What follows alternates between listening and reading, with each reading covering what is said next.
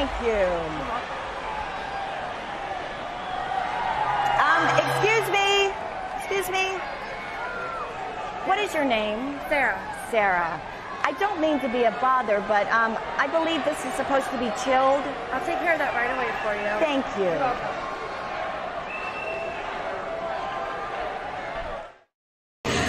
Sable, I was wondering if I could get your thoughts on your upcoming match at Vengeance against the SmackDown General Manager Stephanie McMahon. Well, you know, Josh, there isn't anything that I wouldn't do for Mr. McMahon, even if it means taking out his precious little girl.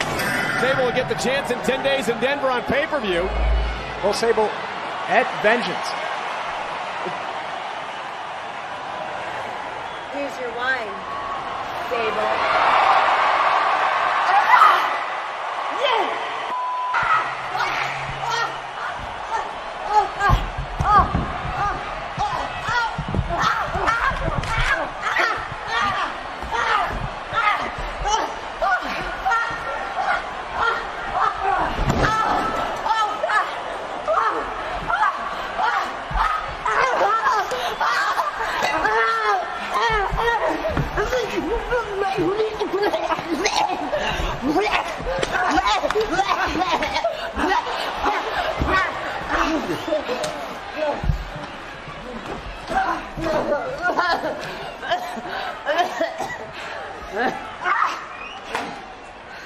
Sable.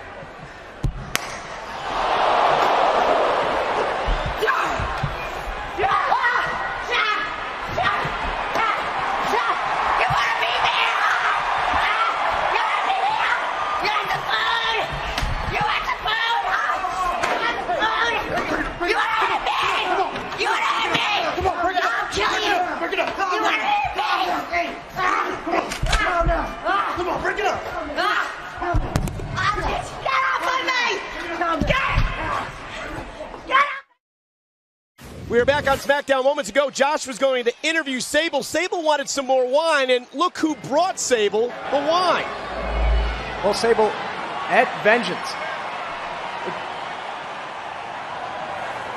Here's your wine, Sable. Well, Taz, perhaps Stephanie and Sable should have taken some of that Midol that Mr. McMahon had earlier on. Yeah, I'm telling you, these two went at it big time, major league cat fight, two girls fight, whatever you want to call it.